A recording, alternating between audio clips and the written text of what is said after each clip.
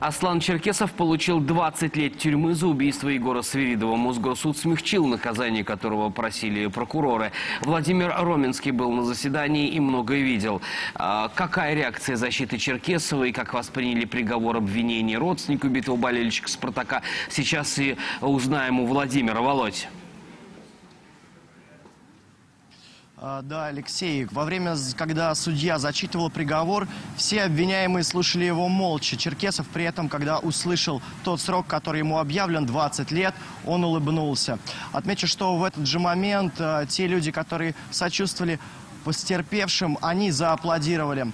А, Во время того, когда из зала суда выходили люди, родственники фигурантов, это дело теперь уже признанных виновными, очень сильно возмущались. Они говорили то, что такого наказания они не заслуживают. В то же самое время прокуратура, прокуроры уже выходили к журналистам, сказали, что полностью довольны, а, поскольку суд а, сначала присяжный, ну а теперь уже и председательствующий признал вину всех фигурантов этого дела в полной мере. Несмотря на то, что сроки ниже, чем просила прокуратура, гособвинение очень довольно.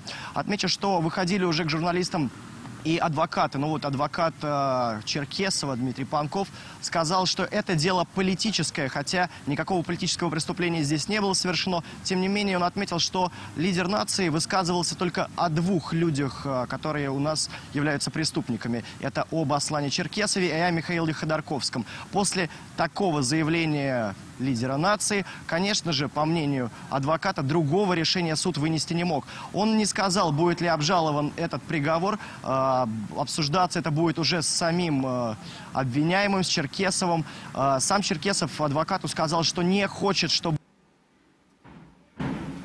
его могут признать э, виновным и дать ему пожизненное наказание, то есть высшую меру. Э, но, тем не менее, само решение суда по э, тому количеству Горина. Э, Сами родственники остальных э, фигурантов этого дела говорили, что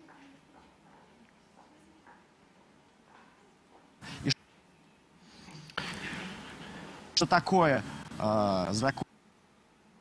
Да, неустойчивые все-таки... С этим не согласны. Выходила Да-да, Володь, продолжай, А, неустойчивая связь просто. э, к журналистам и выходила к журналистам и супруга э, погибшего Егора Свиридова. Она сказала, что не может быть довольна приговором, поскольку она потеряла мужа, и для нее это самое страшное. В то же время она назвала тех, кто был на скамье подсудимых, она сказала, я не знаю, это люди или не люди, Э, и сказала, что считает те сроки вполне адекватными, которые они сегодня получили. Леша? Володь, одно уточнение, как раз эм, э, там была, был сбой связи, правильно ли мы поняли? Аслан Черкесов не хочет пересмотра приговора, потому что опасается пожизненного срока.